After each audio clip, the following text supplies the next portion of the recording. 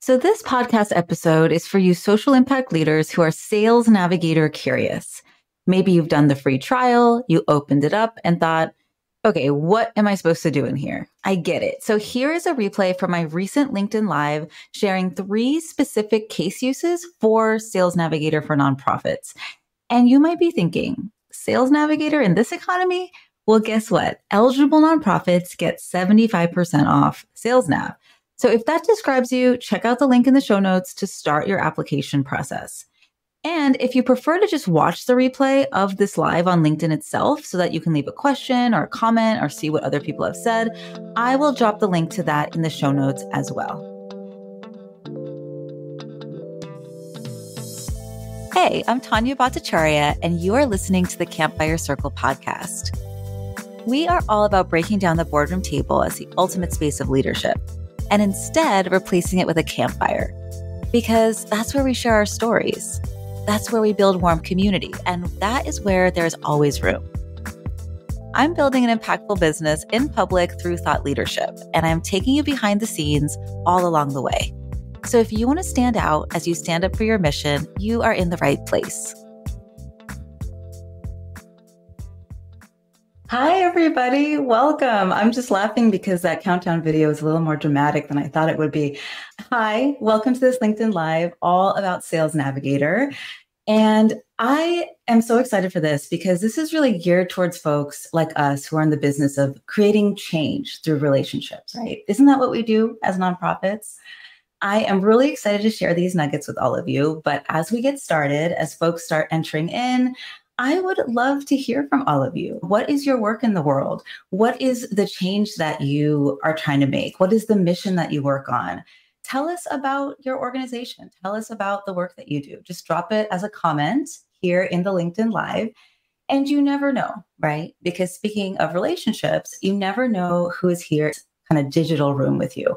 Maybe it's somebody who's working on a similar mission. Maybe it's somebody who has a deep passion for the work that you do or lived experience in the work that you do.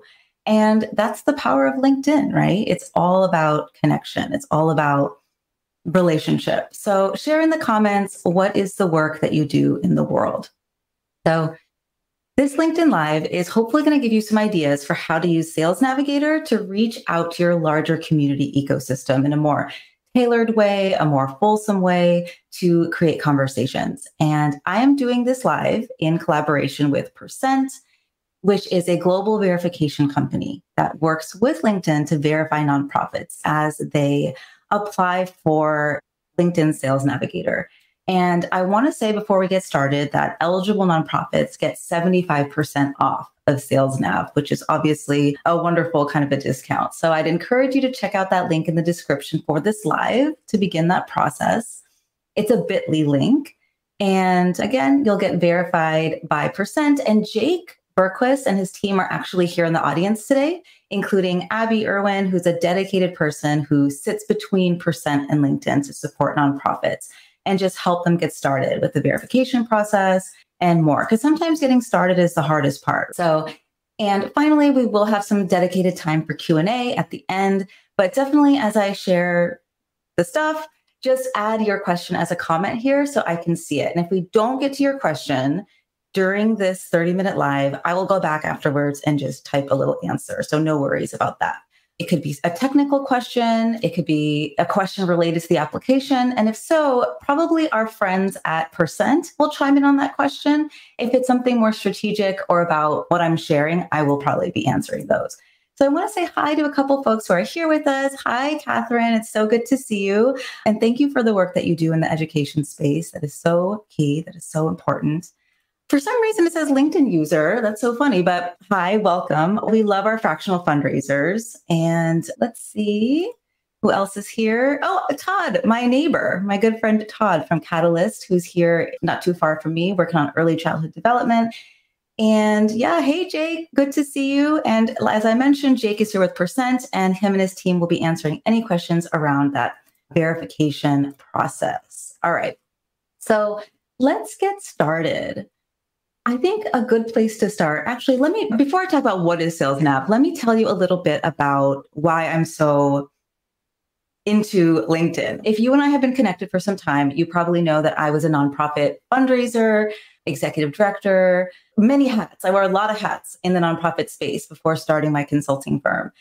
And the organization I worked for was a addiction treatment program that served women and their dependent children. And they had been around long before I joined the team in 2009. Actually, at this point, they're coming up on their 50th anniversary. So some of the things that I would do would be to go back in the room where all the paper files lived, all the paper files that predated our electronic records, and look up grants we used to get and funders and corporate sponsors that we had in literally the 70s and the 80s for our events. Or I would create lists of hospitals here in the Southern California area so our team could nurture those relationships with their case managers. So our work was top of mind when they had somebody that would make sense to refer into care. Or once we did a building campaign and addiction is very much a stigmatized issue still it was even more so back then and so we had to identify movers and shakers or influencers in our local business community who would be on our side when it came to fighting against the stigma in our community about growing our, our center in their backyard and so i say all these things and give all these examples and you probably have similar examples with slightly different nuances but the common denominator between all of these things is building trust with the right people who have access to the right resources or reach to move our mission forward. But here's the thing. As a introverted INFJ, this classic way of going out into the community and meeting these folks at, let's say, a big chamber networking event or a big kind of like gala or something, these big places where people would come in, in droves always felt a little uncomfy for me. Like I couldn't quite do it. I remember thinking it was really hard to go past just that surface level talk into the deep conversations that are required for relationship building. I didn't know if I was even talking to the right person in the organization. And even if I was, all I really knew about them was what was printed on their name tag, which wasn't a lot. And so I was really grateful to find LinkedIn as a strategic place to build relationships instead in a sort of thoughtful, methodical, and an informed way.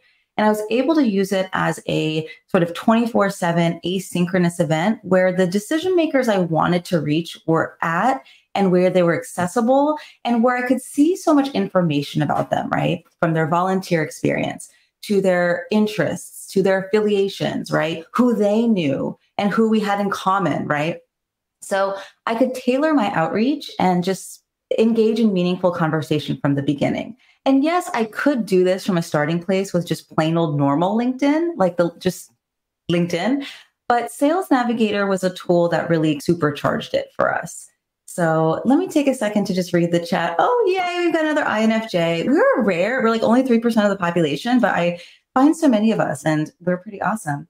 Hey, Rebecca, thanks for being here. I'm so glad you're here to learn more about LinkedIn for your nonprofit. And thank you for the work that you do. And I'm so glad Zach connected you with us. And there's so many great people here. Marissa's here. We've got Rena here. I hope I pronounced that correctly. But um, yeah, it's so good to see you all. Hey, Chris, good to see you. Chris, I knew Chris from back in my day when I worked for the nonprofit I mentioned. So very cool. All right, just wanted to say hi to everybody who's here. All right. So, what is LinkedIn Sales Navigator? I think that would be a good place to start before we get into the nitty gritty. So, it's a premium version of LinkedIn that's designed to help you engage with your people. And some people would say it's for sales professionals. But here's the thing about that. I think a lot of us are like, well, I'm not a sales professional. But, and I get it. I get it. Sales can be seen as a bad word, but I really believe that when we are doing our thing, us in the nonprofit world, when we're doing our thing, we're doing sales, right? Founders and EDs are casting a vision for a different world and converting people. I don't love that term, but maybe because it's a sales term, right? But that's what we're doing. Fundraisers, like many of us who are in the room, we get to know our potential donors pain points and connect them to investment opportunities to light them up, to solve a problem they're passionate about. So let's agree to just accept it, at least for the purposes of this live. Those of us who are in the business of creating positive change have some elements of sales to our work. Okay, so what does Sales Nav do, or what does it help us do? So, in our time together for the next 20 minutes or so, I want to really give you three strategic and specific use cases so that when you open up Sales Nav, you have some ideas on where to start. Because this is what I hear a lot from people. And this is what I experienced myself actually the first time I opened up Sales Nav. I know this is powerful, but I don't know what to do. So, let's talk about it. Okay. And before I get into that, let me just check out the comments here. Okay. Okay. We've got a couple ENFPs. I love ENFPs too. Amazing. All right, cool. I could just read the chat all day. But what I'm going to do instead is talk about how LinkedIn Sales Navigator helps us build a map of relationships. It helps us build a map of relationships. So even when we are in relationship, deep relationship with a company or a, a funder, let's say a funder, managing the web of relationships in that organization can feel like a full-time job. So I'm going to share an example. So, back in the day, the organization I worked for, we worked with a really incredible global corporation. And one of their main giving pillars was funding alcohol abuse prevention. They were an alcohol brand, they were uh, headquartered in Louisville, Kentucky. But they had offices all over the world. They had thousands of employees. And they had an office here in Southern California, in the neighboring city to where our nonprofit was at in, in Irvine. And I had one primary contact there who was like our go to person. She was a local champion for us. She loved our work. She had a deep personal connection to it. She did so much for us. But I knew that it was the head of global corporate social responsibility who was the ultimate decision maker about where their dollars would go in any given year, including where more transformative, like multi year grants would go. And that person was influenced by many other people, right? like their head of marketing, head of people and culture. And so I was tasked with trying to figure out how do I get an understanding of all of the different people that make up the web of this organization. And so LinkedIn Sales Nav offers a tool called relationship mapping. And so I just threw up on the screen an example of what this can look like. So building a map of the relationships for the corporations, the foundations, the referral programs, like the organizations that you're working with, this gives you a lot of intel. It helps inform your next steps, right? It helps you paint a picture of the networks within the organizations you work with. Because here's the thing sometimes decision makers leave. People leave. My contact, who was so instrumental, our relationship could have left. And so using this tool, you're able to see updates. You're able to stay in relationship with folks as they move on to other organizations. You're able to see when the people at those organizations do cool things and end up in the news. Unless you have a Google alert set for every single organization you work with, you're just not always going to have your finger on the pulse on everything that they're doing. Or maybe they're not in the news, but they just posted a LinkedIn update about their staff retreat. They posted an update about their professional life so this tool helps you just stay on top of what all of the different people within your important LinkedIn sales nav would call it accounts and sales terminology, we'd call it accounts. But what your people are doing, right? What your key funders and sponsors and organizations are up to. Because we get busy. That's one thing I know for sure. Nonprofit leaders are very busy. And so this is a tool that prompts you so you can just reach out with personalized messages, a well timed congrats when somebody's graduating with their masters, whatever. And that can open up all kinds of doors. All right. So I'm just going to take a look at the comments. Okay, cool. I just like to see what's going on there. All right.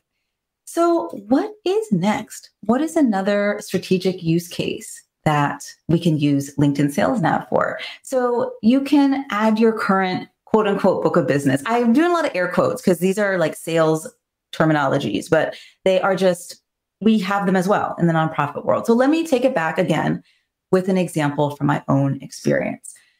So, at the nonprofit organization I worked with, the addiction treatment program, we served quite a few women pilots, especially pilots who were moms, who had dependent children or they were moms.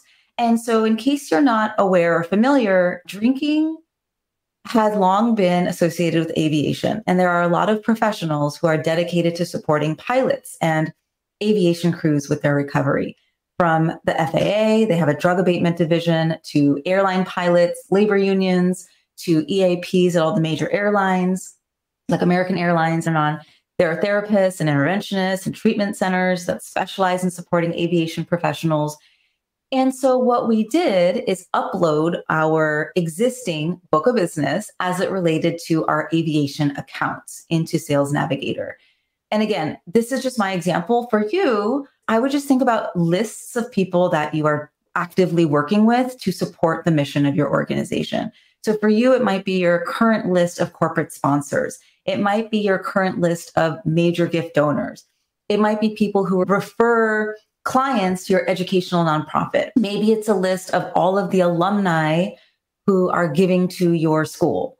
These are just some examples. I want you to think about who are in your book. And there you have probably many different types of people in your books of business. You can segment that out. But yeah, it's a specific list of people who support your mission in some way. And so when you upload that book of business into Sales Nav, you get visibility into what's actually happening with those key people in real time. So I talked a little bit about how you can do that within an organization. You can also do that for your entire sort of the people who are important to you. And you might be saying, well, I already have a CRM. I'm already keeping track of stuff in my CRM. Why would I add my CRM to, to LinkedIn? Well, it's valuable to bring them over here to LinkedIn because, again, in Sales Navigator, you'll get insights on things like when they post. It will flag little details and nuances. If you two went to the same school or volunteered for the same organization, you get notified when your people post on LinkedIn so you can reach out and communicate in a more informed way. It cuts out a lot of that manual research that we've had to do when we're cultivating and stewarding our people, it just does it for you, right? It just does it for you.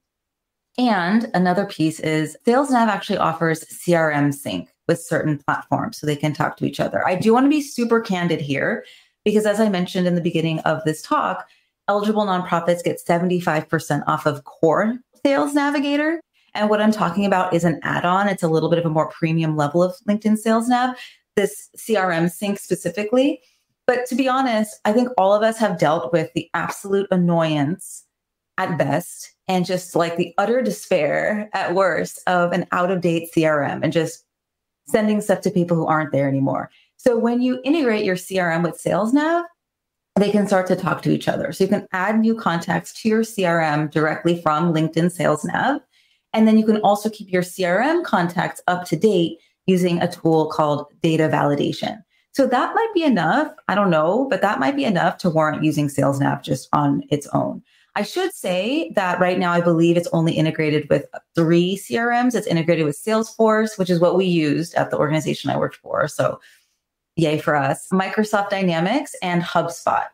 So, I know a lot of folks here probably use Raiser's Edge or Bloomerang, or there's so many great CRMs. But if you want this tool, let the folks at Percent know. They are very happy to chat with you, have a conversation about integrating tech and apps across your organization as it relates to LinkedIn. Okay, I'm going to just check up the comments. Nancy asks us if it's a complicated setup. That's a good question. I think everything is complicated for me. Like tech is not my thing. But I will echo that for those of us who are working with Percent on the verification process, like Abby and Jake and someone from their team will hop on and help you get through it. Honest answer, it would probably be complicated for me, but the folks at Percent can help you out. Let's see what else is going on. Okay, so let me actually share the third piece here. The third strategic case use, right? So we have now talked about how to use it to map the decision makers within one organization, whether it's a foundation, a corporation, an org. We've talked about adding your current book of business there so that you can keep track of what's going on with your key accounts in a more effective, streamlined way. And the third thing I want to talk about is that you can use SalesNav to find new values aligned partners. This is really important. So, what does this mean? You can search for prospective donors, volunteers, board members, alumni, if you work for a university, or even if you work for a large nonprofit. I actually had a conversation with somebody who works for United Way, right? For United Way of California. And they were interested in connecting with all of the alumni that have ever worked for United Way. And so, similarly, even if you don't have alumni that have graduated your program, you have alumni of your nonprofit. And so you can use LinkedIn to find those people and stay in touch with those previous employees. But anyway, those are some examples. So I want you to think of some keywords that have to do with your mission. So in my example, it would be things like addiction recovery. It would be things like women's mental health. It would be like long term recovery. These certain keywords that are signals that these folks are somewhat interested in the work that I did at the organization. Think about keywords that might show up on someone's LinkedIn profile, maybe in their experience section, maybe in their previous volunteer experience section, right? And so use those keywords as a place to start with your searches, and then you can filter it down based on specific criteria, whether it's folks who are interested in mental health who have the title of CEO, or people who are interested in mental health who work in a specific industry. And again, yes, you can do this on just normal LinkedIn, just plain free LinkedIn. But the thing about Sales Nav is that you get access to more filters. You get access to more ways to divvy up that data so that you can get even more specific and relevant. So, LinkedIn Basic search, like free LinkedIn, has 18 filters that you can choose from. But LinkedIn Sales Nav has 36 filters you can choose from. Things like company headcount, things like where their company headquarters is, both of which would be really important for nonprofits that have a corporate giving strategy. You can filter it down by what LinkedIn groups they're in, which can tell you a lot about someone's interests or their values. You can filter it down by buyer intent, which I think is really key because it pulls data. Let's say I search for addiction treatment, it would pull data to find people who maybe already follow the nonprofit that I work for, or maybe people who viewed the profile recently. So it just takes the basic search feature and gives you a lot more tools to customize your searches more specifically. So I'm going to throw something up here. This is a screenshot that I took yesterday and I tested it. So I added women, I added mental health. And I know you, it's probably a little hard to see this right now. It's a little small. So I'll just tell you what it says. I filtered it down by people who are interested in mental health. The women part, I think I probably would actually, thinking back on this, I'd probably remove this because that doesn't tell us too much, but mental health for sure. And then I filtered it down by people who work in the airlines and aviation industry, because this is a direct relation to the example that I shared earlier. And then something that LinkedIn Sales Nav allows you to do that I didn't even mention is you can actually exclude folks based on filters, which is something you cannot do in the free version. So, for example, I knew that uh, I wanted to connect with people that were passionate about mental health in the airlines or aviation industry, but I probably wasn't going to be working with folks in engineering or IT or accounting. I was probably going to be working with folks more in like HR or folks in the C suite. And so I excluded people from those functions. I excluded entry level managers. And what I could do, this is a screenshot, so I can't do it in real time, but I could add folks who have seniority level of, let's say, CEO. I could add folks who are in the function of, let's say, HR. And so this will start to give me really good lists of people that I don't even know, but they are all people who likely would have been able to support us in our mission of supporting women who were struggling with addiction and who were in the aviation industry, who are pilots, things like that. So you can see here, I got 400 results from that. That's out of the 1 billion people that are on LinkedIn. So this is already a pretty specific search, but then I can just keep filtering it down. Another thing I can do with SalesNav is I can save this search, which is really great. I don't have to create it every single time. You're going to find really specific searches that are just like really keyed in and dialed in to what you're trying to do and what you're trying to find. So you can save those searches. And lastly, the thing that you can do is you can go through these people, you can look at their profiles and be like, yes, this person is a women's advocate at WestJet. I've got to know this person. And select them and add them to a list, right? You can add them to a list. You can call that list whatever you want to call it. But over time, you can visit that list and see what these folks are up to. You can find the right time to reach out to them. Yeah, all of that kind of good stuff. Oh, and one thing that I should also mention that I forgot is that with Sales Nav, you have InMails, right? That's part of what you get with your LinkedIn Sales Nav. You get 50 InMails a month, and an InMail is a message, like a DM that you can send to anybody, even if you're not connected to them yet. And what I found from my own experience, I was always amazed by who would reach back out to me on LinkedIn who completely just ignored my email or I could never get through via a phone call because folks are so gate kept, right? Folks are gate kept by executive assistants whose job it is to do that. And so, yet these same people often respond on LinkedIn because they still manage their own LinkedIn account. And so, InMails are, are key. I will be candid. It might take weeks or even months to sometime hear back, but that's okay because relationship building is a long term activity. So, in the couple minutes we have remaining, I would be happy to answer some questions. But as I wait for questions to go in, if you want to put some questions in the chat, I would love to answer them. But as we do that, I do also just want to mention and shout out Percent. I can see that Hannah, Abby, and Jake are here in the chat talking to folks, which I'm so happy about. Again, Percent is a global verification company and they work with LinkedIn so that when you apply for LinkedIn Sales Nav for your 75% off, they are going to be the ones looking at that application. So I encourage you to check out that bit.ly link in the description for this live. Actually, I think I might be able to put it up here Of course, it's not clickable, which is annoying, but that's okay. You can go ahead and click on that in the description of this live as well. And you can begin that process. It's a pretty painless process, and their team is here to help you out as well. All right, let me peruse the comments section. Okay, so Zach has a really great tip. He has a great tidbit. I used to hit the posted within last 30 days filter to message people who are more likely to be active and respond. Yes, I love that filter. I actually currently have a saved list of nonprofit CEOs who have posted within the last 30 days, just so that I can get a sense of what the vibes are. What are the trends? What are people talking about? What are people interested in? What are people nervous about? What are the articles that they're sharing? It just helps me keep my finger on the pulse versus just scrolling my normal feed where like anyone and everyone is hanging out. The people I went to high school with are in my feed. Whereas this just helps you be a lot more targeted. And yes, I do love that filter. Let's see what else is going on here. I want to say hi to my hi Candace. I didn't say hi to you earlier. It's so good to see you. And Michelle is here. Hi, Michelle. So good to be with you. I hope that you share some of these tips with the nonprofits you work with. And let's see, I'll just wait a few more moments. But actually, one thing I can share is there's a question that comes up often for folks who are applying for their 75% off. And so if you currently have LinkedIn Sales Navigator as a nonprofit, if you paid for it, but you want to apply for your 75% discount, you totally can. What you have to do is cancel your Sales Nav account for now. Don't worry about it. Like it won't delete everything. Like you will still have access to Sales Nav until that month is over.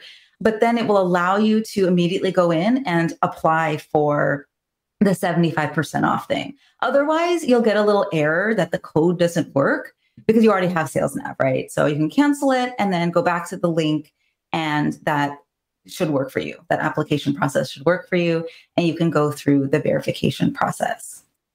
Thanks, everybody. I'm so glad this was helpful info. I'm really glad to hear that. So I know sometimes it takes a little time for the info to sink in and percolate. So since we are at the 30 minutes, what I'm going to do is pause my mic, say goodbye to folks, but encourage you as questions keep coming up, as you think about using Sales Nav and you're like, oh, I should have asked Tanya this. Come back to this LinkedIn Live and just leave us a comment. Leave us a comment, and I will be keeping my eyes on this. Jake and his team, Hannah, Abby, they'll be keeping their eyes on this, and we are happy to answer any questions you have about Sales Nav. So keep coming back. Absolutely. Chris, thank you so much for being here. We'll talk to you soon. Bye, everyone. Okay, so you've heard from us. Now I want to hear from you. Leaving a review helps us so much in growing our reach and supporting more folks with this podcast. And even better, I would love for you to send me a note on LinkedIn with your takeaways from this episode. I cherish and respond to every message, so I can't wait to hear from you. And if you want to go even deeper, check out the show notes to take your next step.